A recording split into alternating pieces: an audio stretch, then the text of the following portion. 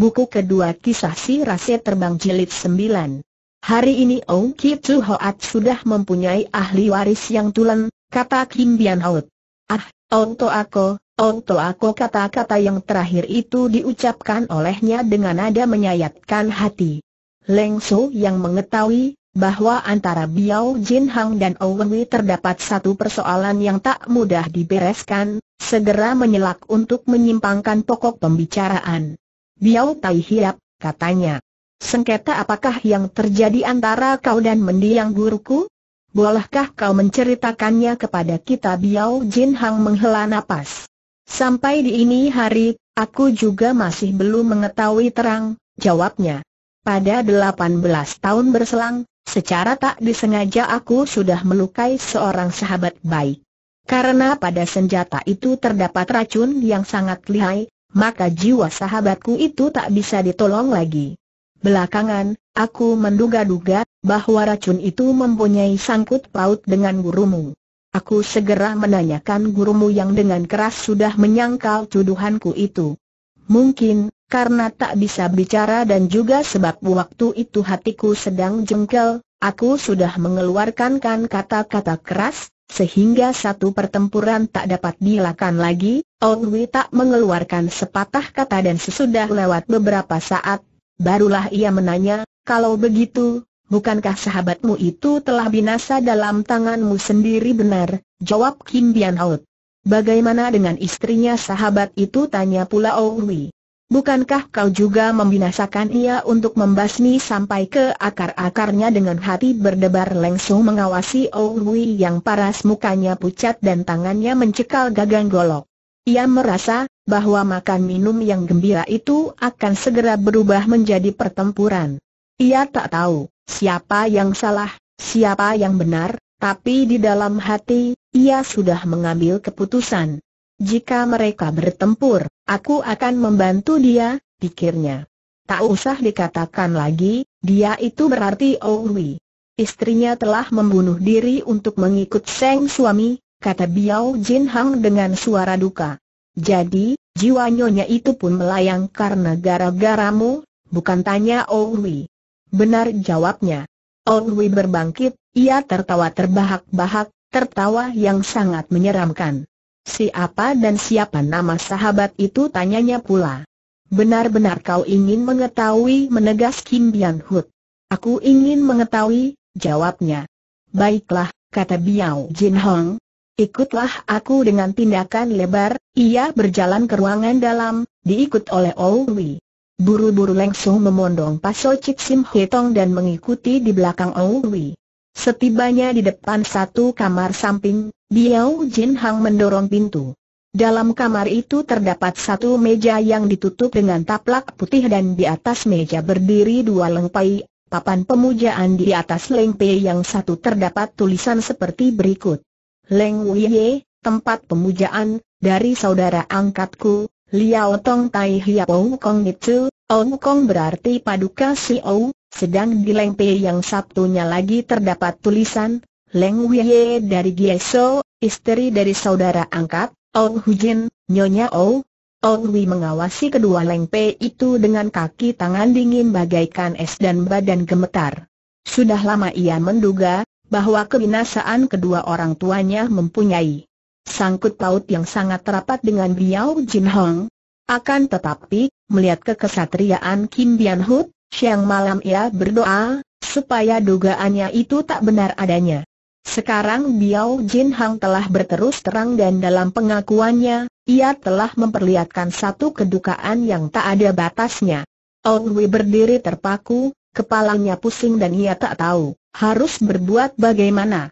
Perlahan-lahan Biao Tai Hiap memutar badan jelka kau ingin membalaskan sakit hati Oh Tai Hiap sekarang juga kau boleh turun tangan, kata Biao Jin Hong. Ong Hui mengangkat goloknya, tetapi golok itu terhenti di tengah udara tak dapat ia menurunkan senjatanya itu dan sembari menggendong tangan, ia berkata, jika kau tak sudi memberitahukan hubunganmu dengan Ong Wei Tai Hiap, aku pun tak berani memaksa. Saudara kecil, kau sudah berjanji akan melihat-lihat anak perempuanku. Aku harap, janji itu tak dilupakan olehmu. Baiklah, Jika kau ingin membalaskan sakit hatinya Ou Tai Hiap, sekarang juga kau boleh turun tangan. Ou Hui mengangkat golok, tapi golok itu berhenti di tengah udara. Jika aku turunkan golok ini dengan gerakan tamu merubuhkan tuan rumah seperti yang diajarkan olehmu, kau tentu tak akan bisa berkelit lagi, katanya di dalam hati. Dengan demikian, aku bisa membalas sakit hatinya ayah dan ibu, akan tetapi, Sebelum menurunkan golok, ia mengawasi paras Biao Jin Hong. Paras kesatria itu, dengan segala keangkerannya, adalah tenang dan damai, bebas dari rasa menyesal dan bebas pula dari rasa takut. Tangan Hui yang mencekal golok bergemetar. Bagaimana, bagaimana ia dapat menurunkan senjata itu di lehernya seorang kesatria seperti Kim Bian? Mendadak, mendadak saja, sembari memutar badan, Owi mengeluarkan teriakan keras dan terus kabur. Leng So lalu mengejar dengan menggunakan ilmu entengkan badan.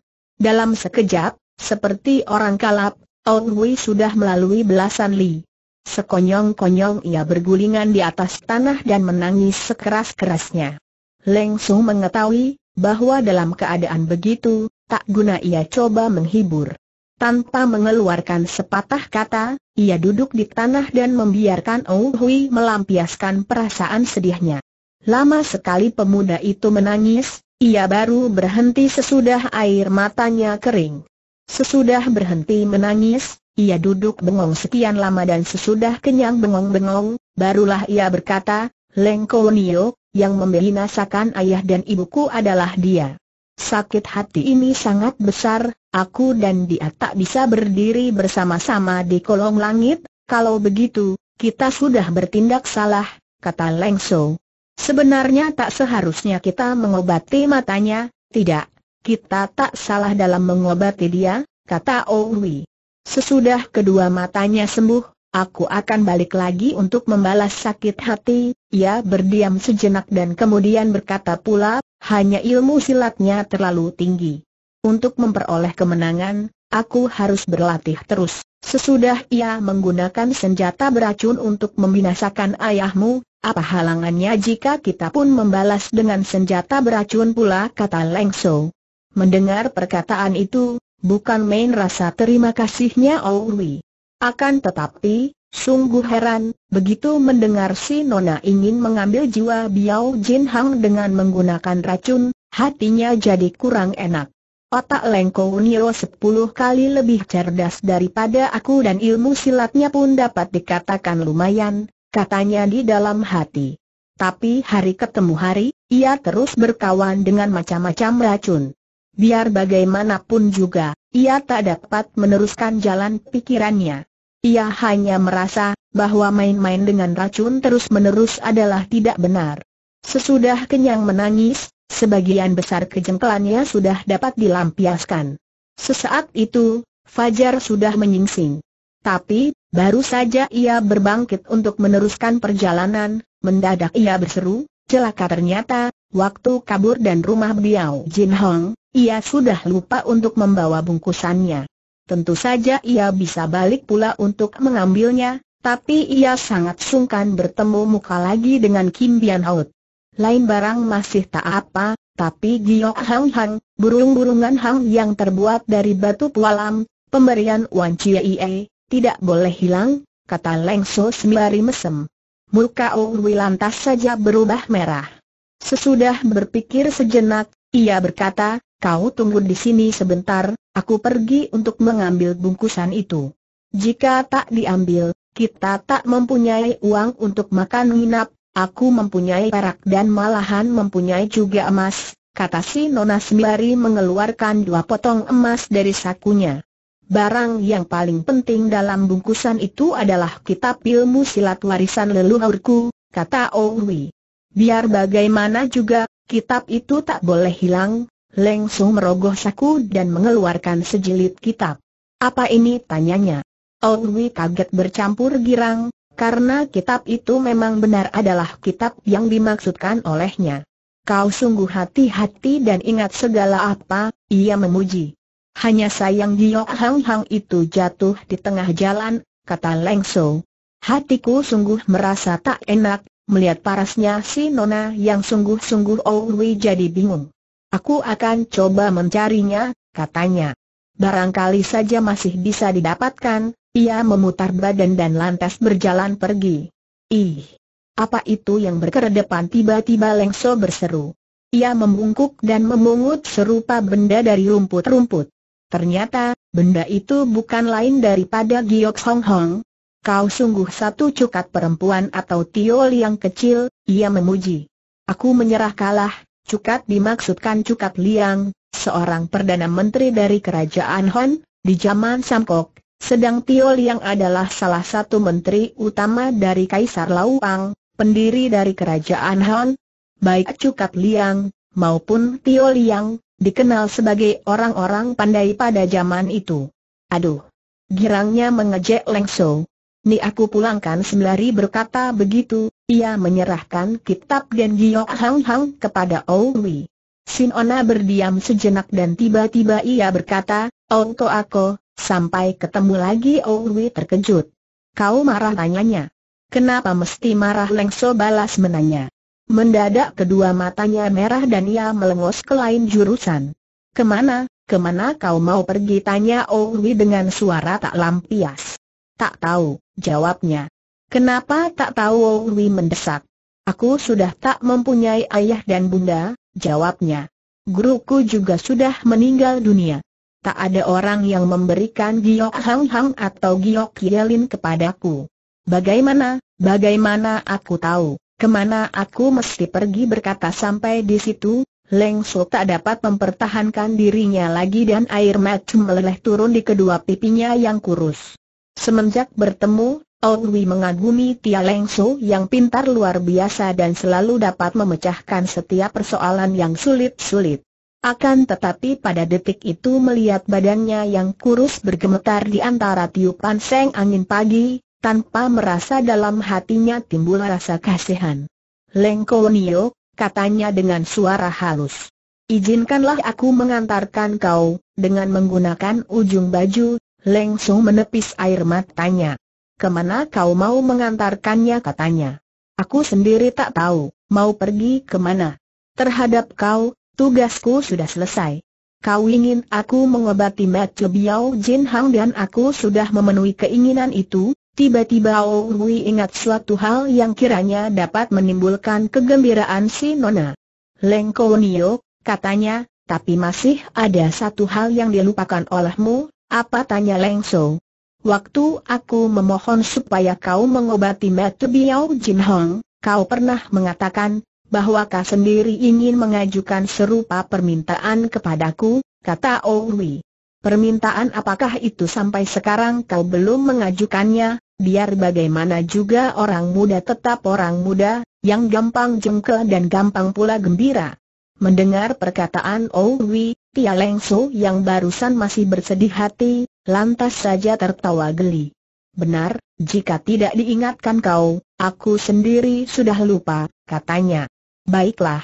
Bukankah kau sudah berjanji akan meluluskan segala permintaanku dalam batas-batas kemampuanku, aku akan melakukan apa pun juga yang diperintah olehmu, jawab Owi.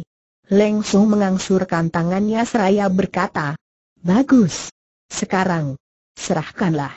Giok Hang Hang, itu kepadaku. Owi terkejut, tapi karena ia adalah seorang yang selalu memegang janji, maka walaupun dengan perasaan berat, ia segera mengangsurkan Giok Hang Hang itu kepada si Nona. Leng So tidak menyambuti. Ia menatap wajah Owi seraya berkata, guna apa barang begitu?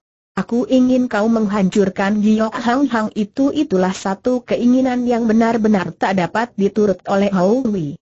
Ia mengawasi Leng So dan kemudian mengawasi Giok Hang Hang, tanpa mengetahui harus berbuat bagaimana.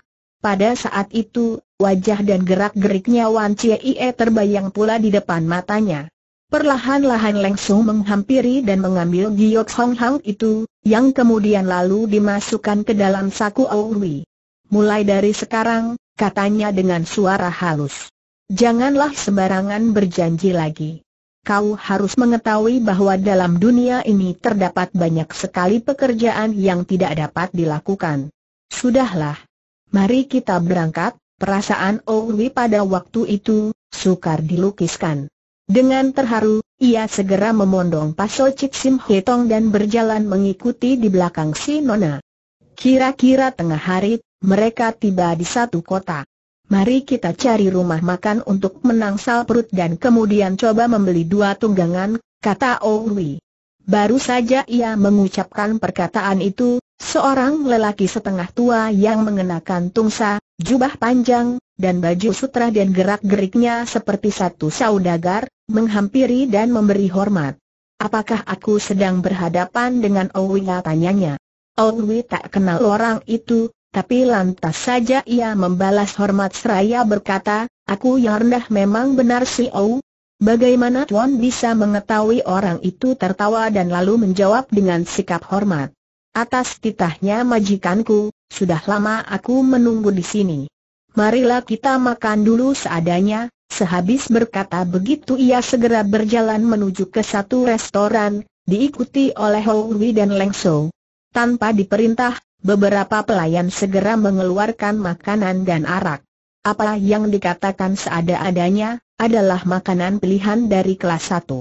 Ongwi dan Lengso tentu saja merasa sangat heran, tapi karena orang itu tidak menyebut-nyebut lagi siapa majikannya, mereka pun merasa tak enak untuk segera menanyakan lagi. Sehabis bersantap, orang itu berkata, sekarang marilah Jiewie mengasuh di gedung yang sudah disediakan, di luar restoran sudah menunggu tiga ekor kuda, yang lalu ditunggang oleh mereka. Sesudah melalui kurang lebih lima li, tibalah mereka di depan satu gedung besar yang sangat indah. Di depan gedung itu sudah menunggu enam tujuh bujang yang menyambut mereka dengan sikap hormat sekali. Si saudagar lantas saja mengundang kedua tamunya masuk ke ruangan tengah, di mana sudah disediakan satu meja teh penuh buah-buah dan kue-kue yang lezat rasanya. Wei jadi semakin heran. Jika aku menanyakan sebab-sebab perlakuan yang begini luar biasa dia tentu tak akan bicara terus terang, katanya di dalam hati. Biarlah aku menunggu bagaimana akhirnya permainan ini dan bertindak dengan mengimbangi keadaan. Sehabis minum teh, si saudagar lantas saja berkata, Olia dan Nona tentu-tentu merasa capai. Mandila tukarlah pakaian dulu, didengar dari bicaranya, dia ternyata tidak mengenal Lengko Nio, pikir Rowi. Hektometer jika dia berani main gila di hadapan murid Tok Chiu Yoong, dia pasti akan mendapat hajaran keras. Seorang pelayan segera mengantarkan Owi masuk ke ruangan dalam, sedang seorang pelayan lain mengantarkan Lengso. Sesudah mandi, menukar pakaian dan mengasuh sebentar, mereka berdua lalu kembali ke ruangan tengah. Mereka saling mengawasi dengan perasaan geli, karena masing-masing sudah mengenakan pakaian baru. Untuk aku, kata Lengso sembari tertawa. Apakah hari ini hari perayaan tahun baru? Dan dananmu ganteng benar, Ongwi juga turut tertawa, karena mendapat kenyataan, bahwa si Nona bukan saja memakai pakaian baru, tapi juga memakai bedak dan yang cie, ro uge. Aduh katanya. Kau kelihatannya seperti pengantin saja muka Lengso lantas saja berwarna dadu dan ia melengos tanpa meladeni ejekan orang. Ongwi terkejut, sebab ia merasa sudah berbicara salah. Ia melirik ke arah Lengso dan hatinya agak lega, karena para si nona tidak menunjukkan kegusarannya. Sementara itu, dalam ruangan tersebut sudah diatur meja perjamuan dengan makanan dan arak kelas satu. Sesudah mengundang Owi dan Leng Sung minum tiga cawan si saudagar segera masuk ke dalam dan keluar lagi dengan kedua tangan menyanggah satu penampan. Di atas penampan itu terdapat sebuah bungkusan sutera merah yang ketika dibuka, ternyata berisikan sejilid buku yang disulam indah. Sekali dengan benang emas. Di atas kulit buku itu dituliskan perkataan seperti berikut, dipersembahkan dengan segala kehormatan kepada Ong Toaya, Ong Wi. Dengan kedua tangannya, dengan sikap menghormat luar biasa, saudagar itu mengangsurkan buku tersebut kepada Ong Wi. Atas perintah majikanku, Xiao Jin, aku yang rendah, mempersembahkan segala apa yang tercatat dalam buku ini, kepada Ong Toaya, katanya. Ong tak lantas menyambuti buku itu. Siapa majikan Chuan tanyanya. Kenapa ia memberi hadiah yang begitu besar kepadaku Xiao Jin telah dilarang memberitahukan nama beliau, jawabnya. Di kemudian hati, Toaya sendiri tentu akan mengetahuinya, didorong keheranannya, Ong Hui menyambuti buku itu dan segera membuka halaman itu. Terdapat tulisan seperti berikut, Sawah kelas 1, 415 bong, di bawah tulisan itu terdapat penjelasan tentang kedudukan sawah itu, nama-nama penggarapnya, hasil setiap tahunnya dan sebagainya. Bukan main herannya Owi. Ia membuka halaman kedua yang bertuliskan seperti berikut, sebuah gedung dari lima bagian dengan 12 kamar loteng dan 73 kamar bawah. Di bawah itu, dengan huruf-huruf kecil, juga terdapat penjelasan mengenai kedudukan gedung itu, letak taman bunganya, ruangan-ruangannya, kamar-kamarnya, dapurnya dan lain-lain. Pada halaman-halaman yang lain terdapat daftar nama bujang-bujang, biaya sehari-hari, makanan yang diperlukan, kuda-kuda, kereta, perabot rumah tangga, pakaian dan sebagainya. Ong Hui yang berotak cerdas sekarang benar-benar merasa bingung di dalam hatinya. Coba kau lihat, katanya sembari menyerahkan buku itu kepada Leng Shou. Sesudah membaca isinya, si Nona pun tak dapat menembus tabir rahasia yang meliputi keanehan itu. Selamat, selamat katanya sembari tertawa. Kau sekarang sudah menjadi hartawan besar. Sekarang Xiao Jian ingin mengantar-antarkan Ou Ayah untuk memeriksa keadaan gedung ini, kata si saudagar. Kau siapa tanya Owi. Xiao Jin Sitio, jawabnya. Untuk sementara waktu, Xiao Jin mewakili Ou Toaya untuk mengurus sawah-sawah dan gedung ini. Jika ada apa-apa yang kurang mencocoki keinginan Ou Toaya, Xiao Jin harap Ou Toaya suka lantas memberitahukannya. Surat-surat sawah dan rumah berada di sini. Harap Ou Toaya sudi menerimanya, sembari berkata begitu, ia mengangsurkan seikat surat-surat. Kau simpan saja dulu, kata Owi. Kata orang, tanpa berjasa, tidak menerima hadiah, hadiah yang begini besar belum tentu aku dapat menerimanya, ah! Oh Toaya terlalu sungkan, kata si saudagar. Majikanku pernah mengatakan, bahwa ia merasa malu, karena hadiah ini terlalu kecil, sedari kecil, Ong berkelana di kalangan Kang dan ia sudah kenyang menemui atau mendengar kejadian-kejadian aneh.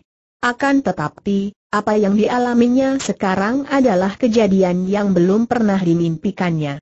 Dilihat gerak-geriknya, orang Siti itu bukan seorang yang mengerti ilmu silat dan bicaranya pun bukan care seorang rimba persilatan berbicara. Ong Wei merasa, bahwa sebagai seorang yang diperintah, belum tentu ia mengetahui latar belakang kejadian ini. Sehabis bersantap, Ong Wei dan Leng So segera ke kamar buku untuk mengasuh. Kamar itu, yang diperlengkapi dengan perabotan yang berharga mahal, penuh dengan lukisan-lukisan, buku-buku dan alat-alat musik. Tak lama kemudian seorang kacung datang mengantarkan teh dan sesudah meletakkan teh kean dan cangkir di atas meja, ia segera mengundurkan diri.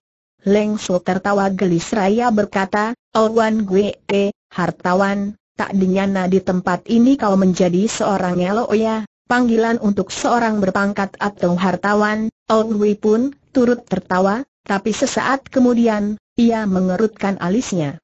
Leng Nio, katanya. Aku merasa pasti, bahwa orang yang memberikan hadiah ini mempunyai maksud kurang baik. Akan tetapi, aku tak dapat menebak siapa adanya orang itu. Siasat apa yang sedang diaturnya apakah tak mungkin kerjaan Biao Jin Hang tanya si Nona. Ong Hui menggelengkan kepalanya dan berkata, walaupun aku dan dia mempunyai permusuhan besar, tapi menurut pendapatku, ia adalah laki-laki tulen yang tak akan main bergelap-gelapan. Tapi kemungkinannya tetap masih ada, kata Leng Shou. Apakah tak bisa jadi, hadiah ini diberikan olehnya karena kau sudah membantu dia dalam menghadapi bahaya-bahaya. Mungkin sekali ia hanya bermaksud untuk menghaturkan terima kasih dan menghilangkan permusuhan, mana bisa aku melupakan sakit hati orang tuaku karena silau melihat harta kata Owi. Tidak, Tidak. Biao Jin Hang tak akan memandang aku begitu rendah, Leng Su meleletkan lidah. Kalau begitu, akulah yang sudah menaksir kau terlalu rendah. Lama juga mereka berunding, tapi hasilnya nihil. Akhirnya mereka mengambil keputusan untuk menginap semalam, guna menyelidiki hal itu lebih lanjut. Malam itu, Ong tidur dalam kamar besarnya terletak di ruangan belakang, sedang Leng Su mengambil kamar di atas loteng, di pinggir taman bunga. Selama hidupnya, belum pernah Owi tidur dalam kamar yang begitu mewah, tapi sekarang, bukan saja kamar itu, tapi seluruh gedung itu juga sudah menjadi miliknya sendiri. Kira-kira jam 2 malam, sesudah berdandan rapi dan membekal golok, Owi keluar lewat jendela dan melompat naik ke atas genteng lah mendapat kenyataan, bahwa di bagian belakang gedung itu masih terdapat penerangan lilin. Dengan menggunakan ilmu mengentengkan badan, ia berlari-lari ke arah sinar api itu. Sambil mencantelkan kedua kakinya di payon rumah, sehingga badannya menggelantung ke bawah, ia mengintip dari jendela. Di dalam kamar itu terdapat si orang setio yang sedang menghadapi Suifoa, alat hitung Tionghoa, dan buku-buku, dengan dikawani oleh seorang tua. Ternyata, apa yang sedang dikerjakannya adalah pembukuan mengenai sawah dan gedung itu dan apa yang dibicarakan dengan si orang tua adalah soal-soal yang bersangkut paut dengan tugasnya. Sesudah mendengarkan beberapa lama, Ong Wei belum juga mendapatkan yang tengah dicarinya itu. Baru saja ia ingin berlalu, ketika mendadak terdengar suara luar biasa, sehingga dengan cepat ia bersiap-siap sembari mencekal gagang goloknya. Tapi yang datang hanyalah Leng Su yang segera memberi isyarat dengan gerakan tangannya. Ong Wei menghampiri. Aku sudah menyelidiki seluruh gedung ini dari depan sampai di belakang, tapi belum juga bisa mendapat apa-apa yang mencurigakan, kata si Nona. Bagaimana dengan kau? Ong Hui menggelengkan kepalanya dan mereka segera kembali ke masing-masing kamarnya. Sampai pagi mereka terus berjaga-jaga, tapi semalam itu tak terjadi suatu apa yang luar biasa. Pagi-pagi sekali, seorang kacung sudah mengantarkan Som Tung, Kuah Som, dan Yan Opau, kue-kue dan arak merah yang tua sekali. Dengan mempunyai Lengko Unio sebagai kawan, enak juga hidup di sini, kata Owi di dalam hatinya. Tapi di lain saat, ia mendapat pikiran lain. Orang Si Hang itu yang sudah membinasakan seluruh keluarga Chiong Asie, sampai sekarang masih hidup dengan selamat, pikirnya. Jika aku tak bisa membalaskan sakit hati keluarga Chiong, mana aku punya muka untuk hidup terus dalam dunia ini mengingat begitu, darah kesatrianya lantas saja mendidih. Apakah kita lantas berangkat sekarang tanyanya kepada Leng So. Baiklah, jawab si Nona tanpa menegaskan mau pergi ke mana. Mereka segera kembali ke masing-masing kamarnya dan mengenakan lagi pakaian yang lama. Sesudah rapih berdandan, Ong Hui segera menemui si orang sitio dan berkata, aku mempunyai urusan penting dan harus berangkat sekarang juga, sehabis berkata begitu, ia segera berjalan pergi, diikuti Leng Shou. Orang Siti itu terperanjat dan berkata dengan suara terputus-putus, kenapa, kenapa, begitu cepat? On, Toaya, tunggu.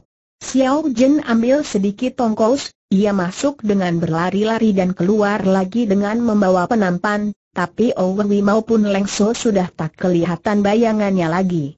Dengan cepat Owi dan Lengso meneruskan perjalanan mereka ke arah utara. Kira-kira tengah hari mereka tiba di sebuah kota dan sesudah mencari keterangan, barulah mereka mengetahui bahwa semalam mereka menginap di kota Gie Tong Tin. Ong Hui segera membeli dua ekor kuda dan mereka meneruskan perjalanan itu dengan menunggang kuda, sambil membicarakan kejadian kemarinnya yang luar biasa itu. Kita makan minum dan menginap dengan cuma-cuma dan sama sekali tidak terjadi apa-apa yang merugikan, kata Leng Shou. Mungkin sekali, majikan rumah itu tak mengandung niatan jelek. Tapi aku justru mengharapkan datangnya bahaya itu, kata si Nona sembari tertawa. Eh, Oto Ayah. Sebenarnya, ke mana kita akan pergi aku ingin pergi ke Pathia, jawabnya. Apakah tak baik jika kau mengikuti baik sih baik, kata Lengso sembari mesem. Hanya aku khawatir, jika kau akan menjadi tidak leluasa, kenapa Owi menegas? Untuk aku, kata Lengso. Bukankah kau ingin mencari nona yang menghadiahkan Giok Hang Hang itu kepadamu bukan? Jawab Owi dengan paras sungguh-sungguh. Aku ingin mengejar seorang musuh. Ilmu silat orang itu tidak seberapa tinggi, tapi ia mempunyai banyak kaki tangan dan banyak akal busuknya. Lengko Nio, dalam hal ini aku sangat mengharapkan bantuanmu, Owi lantas saja menuturkan segala kejahatan Hong Jin Eng, bagaimana manusia itu sudah membasmi keluarga Chiong Asie dan bagaimana dia sudah terlolos dari kejarannya. Ketika menceritakan pengalamannya pada malam itu di birusak suara Owi agak tak lampis. Bukankah nona pemberi giok hang hang itu juga berada di bimaut tersebut? Tanya Lengso secara mendadak. Owi terkejut. Sinona ternyata cerdas luar biasa dan tak dapat dikelabui. Oleh karena yakin bahwa segala sepak terjangnya adalah putih bersih, Owi segera bercerita tanpa tedeng aling-aling lagi. Ia menceritakan segala apa, antaranya bantuan Wan Chie kepada Hang Jin Eng. Wan Nio adalah wanita yang sangat cantik, bukan tanya Leng So. Muka Owi lantas saja berubah merah. Lumayan, jawabnya. Bukankah ia jauh lebih cantik, jika dibandingkan dengan aku, si wanita jelek tanya Leng So pula. Mendengar pertanyaan yang tak diduga-duga itu, Owi jadi termangu-mangu. Sesudah bengong sejenak, barulah ia berkata, siapa mengatakan, bahwa kau wanita jelek? Dia berusia beberapa tahun lebih tua daripada kau. Tentu saja, tubuhnya lebih tinggi dan besar, Leng Su tertawa. Ketika berusia empat tahun, aku pernah bercermin dengan menggunakan kaca ibu, katanya. Ketika itu, ciciku berkata, muka jelek, tak perlu kau mengaca. Mengaca atau tidak, jelek tetap jelek, hektometer. Aku tak memperdulikan kata-katanya. Apakah bisa menebak kejadian selanjutnya asal kau jangan meracuni kakakmu, kata Owi di dalam hatinya. Ia mengawasi si Nona dan berkata, mana aku tahu Lengso, yang rupa-rupanya dapat menebak jalan pikiran Owi, segera berkata sembari bersenyum, kau takut aku meracuni Cici? Waktu itu aku baru berusia empat tahun, hektometer. Besoknya, semua cermin di rumahku hilang, heran benar, kata Owi. Tak heran, kata si Nona sembari tertawa. Aku membuang semua cermin itu ke dalam sumur, ia berdiam sejenak dan kemudian berkata pula, tapi, sesudah itu, aku mengerti, bahwa aku beroman jelek. Walaupun tak ada kaca, jelek tetap jelek. Permukaan air sumur masih merupakan sebuah kaca besar yang setiap waktu bisa mencerminkan rupaku yang jelek. Waktu itu, benar-benar aku ingin membuang diri ke dalam sumur sehabis berkata begitu, mendadak ia mencambuk tunggangannya yang lantas saja lari seperti terbang.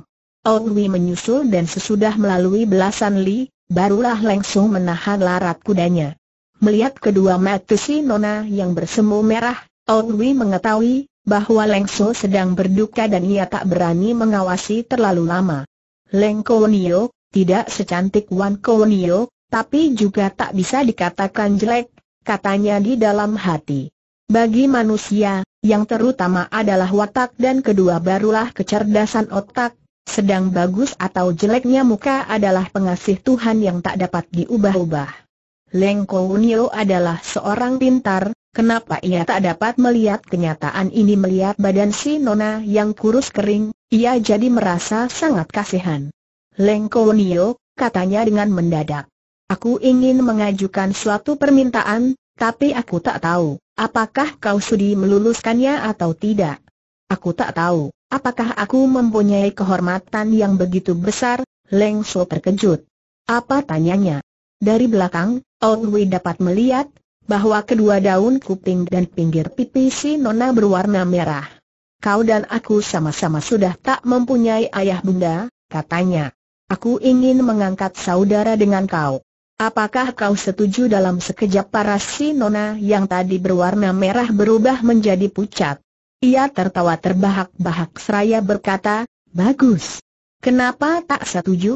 Aku sungguh merasa sangat beruntung mempunyai kakak seperti kau. Ong Hui merasa jengah karena ia merasa bahwa suara si Nona mengandung nada mengejek. Aku mengajukan usul itu dengan setulus hatiku, katanya dengan suara perlahan. Siapa kata kau main-main kata Lengso sembari meloncat turun dari tunggangannya lah segera mengambil beberapa ranting pohon yang kecil untuk digunakan sebagai hio dan lantas saja berlutut di pinggir jalan.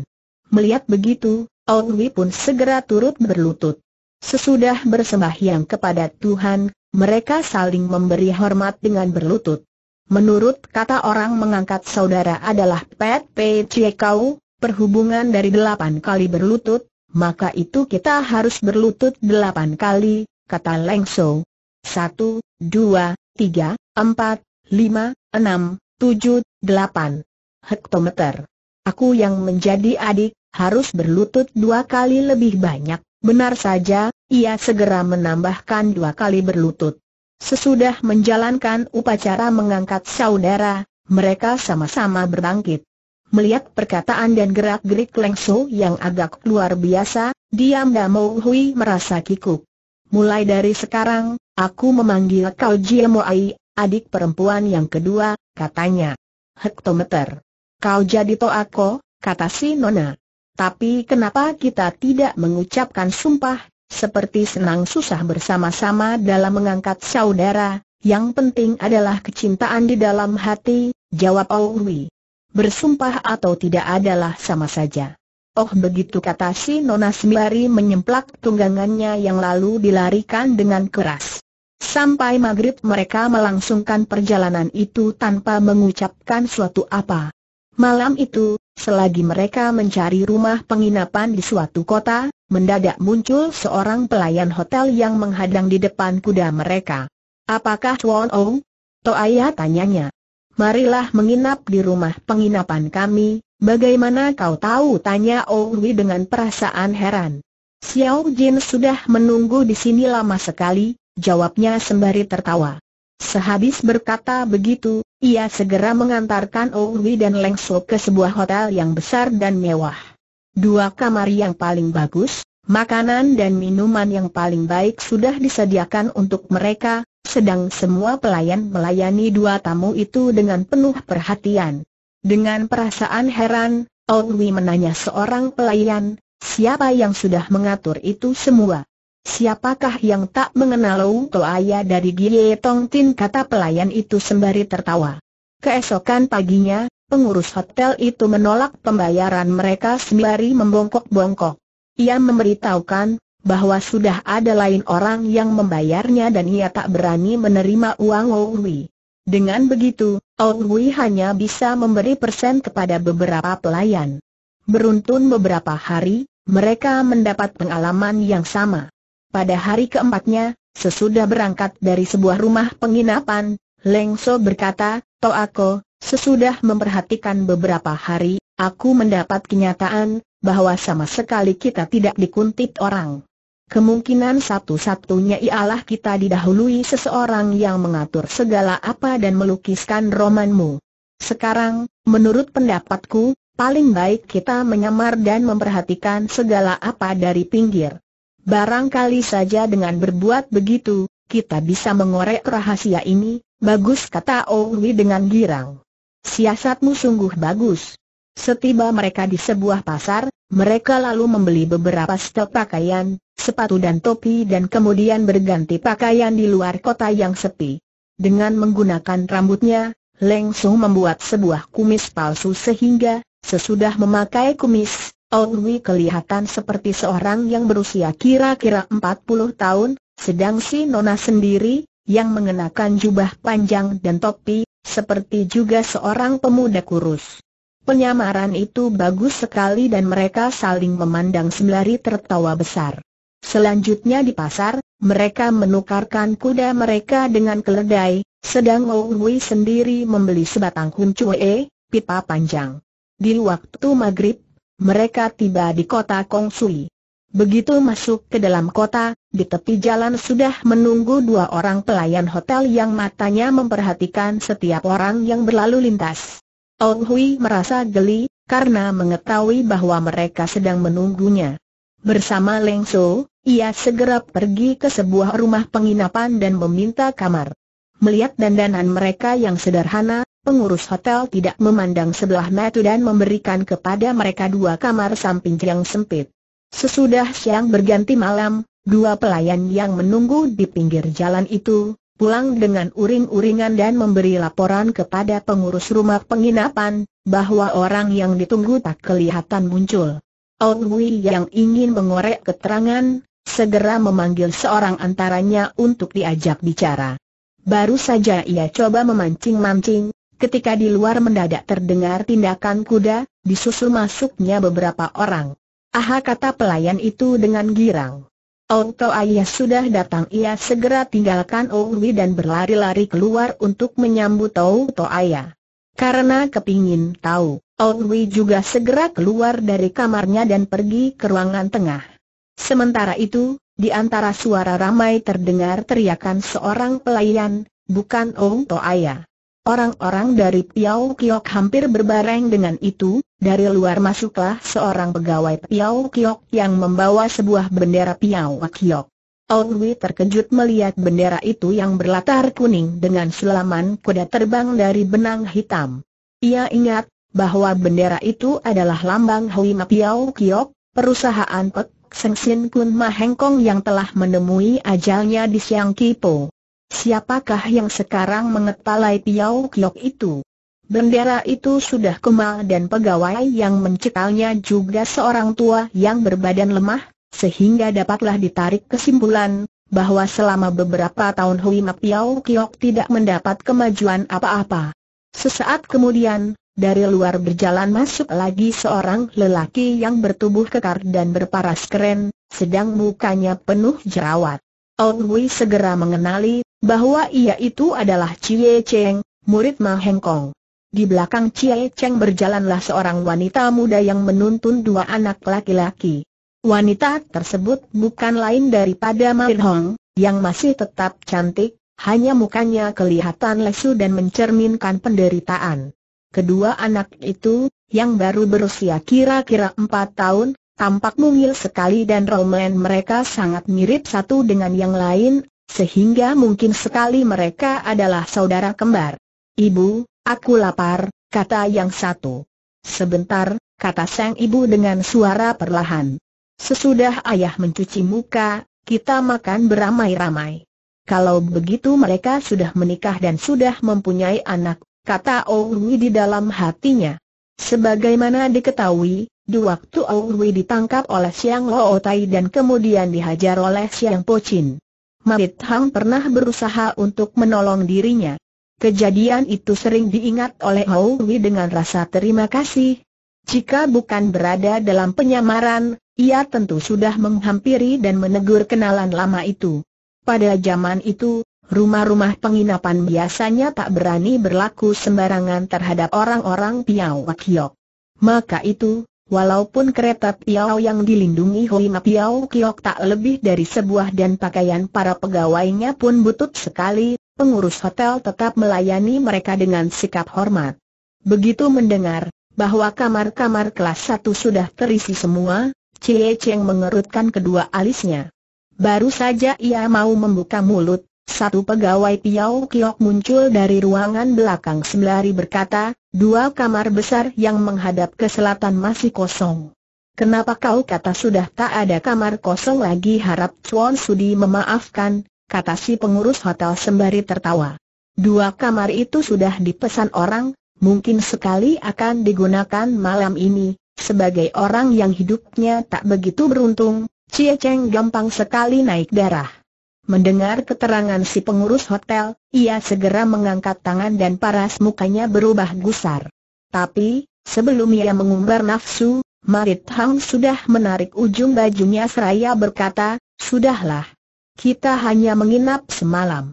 Guna apa cerewet-cerewet Cie Cheng yang selalu mengindahkan istrinya, tak berani bergerak lebih jauh.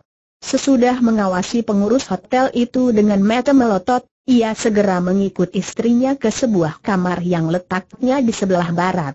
pembayaran mengantar Piau ini ada sangat kecil dan supaya tidak menjadi rugi, kita harus berlaku hemat, kata Marit Hang sembari menarik tangan kedua putranya.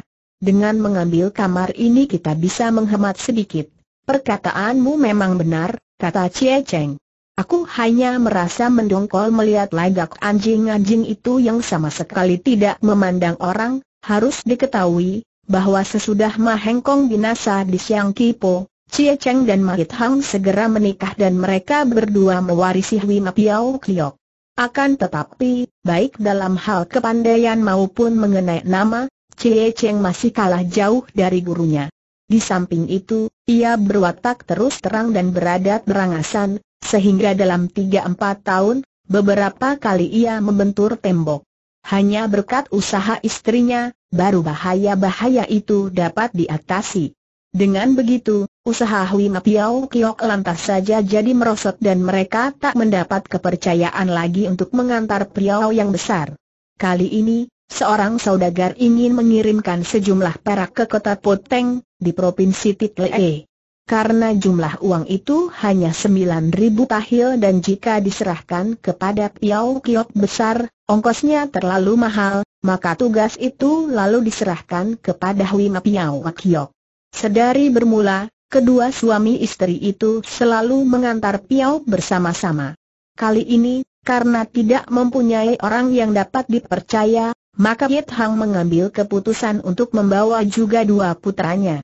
Ia menganggap bahwa jumlah uang yang begitu kecil tak akan menarik perhatian dan perjalanan itu bisa dilalui tanpa bahaya. Sesudah mengawasi kereta Piau itu, Owi pergi ke kamar Leng So. Jie Moai, katanya. Kedua suami istri itu adalah kenalan lama, sehabis berkata begitu, dengan ringkas ia menuturkan pengalamannya di Siang Kipo. Biarlah besok saja kita menegur mereka di jalan yang sepi, kata si Nona. Owi tak menjawab, ia seperti sedang memikirkan apa-apa.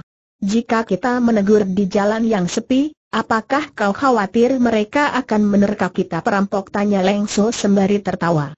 Owi juga turut tertawa. Hektometer katanya. Piau yang begitu kecil tak berharga untuk Ou Toa C E Chu. C E Chu berarti kepala rampok, turun tangan sendiri. Bagaimana pendapat Tia Jie Chu mendengar kakaknya berkelakar, Leng tertawa geli. Sesaat kemudian, paras mukanya berubah sungguh-sungguh. Jika tak salah, mereka berdua kosong kantongnya, katanya. Apakah tak baik kita memberikan mereka sedikit uang Howi tertawa terbahak-bahak. Ia memang mempunyai niatan begitu. Apa yang tengah dipikirannya, adalah care bagaimana hadiah itu harus diberikan, supaya tak sampai menyinggung perasaan suami istri Cie Cheng. Malam itu, sesudah bersantap, Ong Hui segera beristirahat di kamarnya sendiri. Kira-kira tengah malam, di atas genteng mendadak terdengar suara luar biasa. Sebagai orang yang berkepandaian tinggi, Ong Hui mempunyai panca indera yang lebih tajam dari manusia biasa. Meskipun sedang pulas, Suara itu sudah cukup untuk menyadarkannya. Dengan cepat ia bangun dan turun dari pembaringan. Ia mengetahui bahwa di atas genteng itu terdapat dua orang, yang sesudah bertepuk tangan dengan perlahan, segera melompat turun ke bawah. Siapakah manusia yang bernyali begitu besar, seolah-olah di tempat ini tiada manusianya tanyanya kepada dirinya sendiri. Dengan sebuah jarinya ia segera melubangkan kertas jendela dan mengintip keluar. Ia melihat bahwa dua orang yang mengenakan jubah panjang tanpa bersenjata, sedang menuju ke pintu sebuah kamar yang menghadap ke selatan. Begitu masuk, mereka segera menyalakan lampu. Ah, kalau begitu mereka bukan orang jahat, kata Owi di dalam hatinya. Tapi baru saja ia mau merebahkan diri di pembaringan, mendadak terdengar bunyi diseretnya kasut. Ternyata, yang menyeret kasut adalah pelayan hotel yang menghampiri pintu kamar dan berteriak, siapa? Kenapa tengah malam buta tak masuk dari pintu luar dan turun seperti Bang Satya mendorong pintu itu dan kakinya melangkah ke dalam. Tiba-tiba terdengar teriakan, aduh disusul terpentalnya tubuh pelayan itu yang jatuh musruk di luar kamar. Dengan serentak semua tamu mendusin dari tidurnya. Salah seorang dari dua tamu yang mengenakan jubah panjang itu, berdiri di tengah pintu. Atas perintah Ki Kongong Toa Cecu, malam ini kami datang ke sini untuk merampas Piau, ia berteriak. Yang kami cari adalah Cie Piau Tau dari Huima Piau Kliok. Orang lain yang tak ada sangkut pautnya lebih baik masuk ke kamar masing-masing dan tidur saja dengan tenang, mendengar perkataan itu, Cie Cheng dan Mahit Hang menjadi gusar berbareng khawatir. Mereka merasa heran, bagaimana kedua penjahat itu bisa mempunyai nyali begitu besar untuk menghina orang di kota Kong Sui yang tidak kecil. Kesombongan si penjahat adalah kejadian yang belum pernah dialami oleh mereka. Aku, si orang suci Ye, berada di sini, kata Cie Cheng dengan suara nyaring. Siapakah sebenarnya Ye Wei orang itu tertawa bergelak-gelak. Serahkan sembilan ribu tahil perak itu dan benderamu kepada tuan besarmu, katanya. Guna apa kau menanya-nanya namaku? Biarlah kita bertemu pula di sebelah depan, sehabis mengancam ia. Bertepuk tangan dua kali dan kemudian, Bersama kawannya, ia melompat ke atas genteng. Cie Cheng mengayun tangannya dan dua piau bajanya menyambar ke atas. Orang yang melompat belakangan menyambut piau itu dengan tangannya dan kemudian balas menimpuk.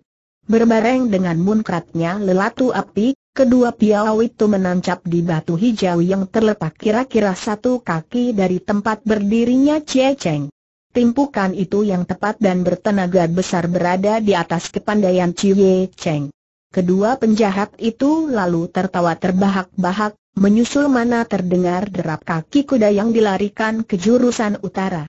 Sesudah mereka pergi jauh, barulah semua orang berani keluar lagi dari kamar mereka dan berunding berkelompok-kelompok. Ada yang mengusulkan supaya pengurus hotel segera melaporkan kejadian ini kepada pembesar negeri, ada yang membujuk supaya Cie Cheng mengambil jalan lain dan sebagainya. Cie Cheng sendiri tidak mengeluarkan sepatah kata. Sesudah mencabut senjata rahasianya yang menancap di batu, ia segera kembali ke kamarnya. Dengan suara perlahan ia segera berunding dengan istrinya. Mereka yakin, bahwa kedua orang itu bukan penjahat sembarangan. Tapi, jika benar mereka adalah orang-orang Kengou yang kenamaan, kenapa mereka rau merampas piau yang berjumlah begitu kecil?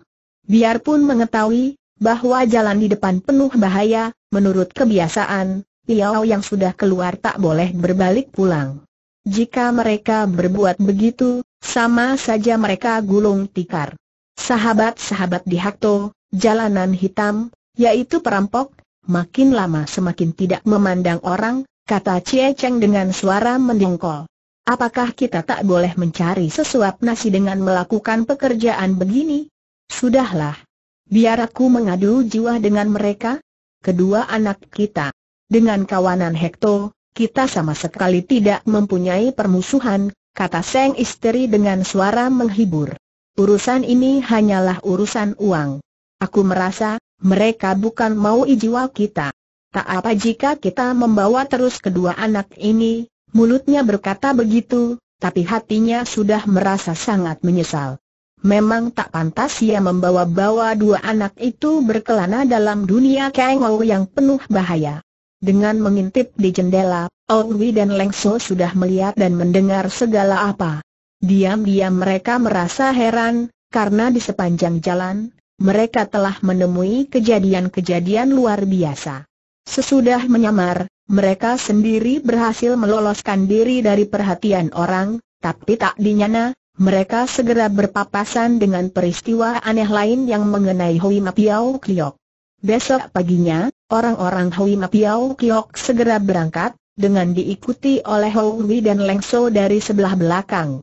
Melihat gerak-gerik kedua orang itu yang terus menguntit di belakang, Semakin lama Cie Cheng jadi semakin bercuriga. Ia menduga bahwa mereka itu adalah kawanan penjahat. Beberapa kali, ia menengok ke belakang dan mengawasi gerak-gerik mereka dengan sorot mata besar, tapi Owengi dan Lengso pura-pura tak melihatnya. Di waktu rombongan Piao Heng mengasuh sebentar untuk makan tengah hari, Ong Wei dan Leng Su pun segera turun dari tunggangannya untuk makan ransum kering, sembari beristirahat juga. Di waktu maghrib, mereka sudah tak jauh lagi dari Bu Sengkuan. Tiba-tiba, berbareng dengan terdengarnya tindakan kuda, dari jauh muncul dua penunggang kuda yang mendatangi dengan kecepatan luar biasa. Dalam sekejap saja mereka sudah melewati kereta Piao Heng dan setelah lewat di samping Owi dan Leng So, mereka mengeluarkan tertawa nyaring yang panjang. Dilihat romannya dan didengar. Suaranya, mereka adalah kedua orang yang semalam mengacau di rumah penginapan. Sebentar, setelah mereka berbalik dan mengejar dari belakang, mereka tentu akan segera turun tangan, pikir Owi. Baru saja ia berpikir begitu, dari depan sekonyong-konyong mendatangi pula dua penunggang kuda, yang gerak-geriknya gesit sekali. Heran, sungguh heran kata Owi dalam hatinya. Berjalan belum cukup satu li, untuk ketiga kalinya, dua penunggang kuda mendatangi pula dari sebelah depan, disusul lagi oleh dua penunggang kuda lain. Melihat kejadian itu, Cie Cheng yang sudah nekat, berbalik tertawa. Sumoai, katanya. Sepanjang keterangan Suhu, jika penjahat kelas 1 ingin merampas piau kelas 1, barulah ia mengirim enam orang. Hari ini, kawanan perampok bukan mengirim enam, tapi delapan orang, seolah-olah yang mau dirampok bukan sembilan ribu tahil perak, tapi sembilan ratus laksa atau sembilan ribu laksa tahil Marit Hang juga merasa heran dan semakin besar pula keheranannya, Semakin besar pula kekhawatirannya. Sebentar jika keadaan sudah memaksa, paling penting kita harus kabur dengan membawa dua anak ini, katanya kepada Seng suami. Sembilan ribu tahil tidak seberapa besar. Kita masih dapat menggantinya, apakah nama baik suhu boleh dirusak dengan begitu saja oleh kita yang tak punya guna tanya Cie Cheng dengan suara keras kau harus memikirkan keselamatan kedua anak ini, kata Yit Hang dengan suara duka. Mulai dari sekarang, biarlah kita hidup melarat sebagai petani. Jangan kita meneruskan pekerjaan yang berbahaya ini.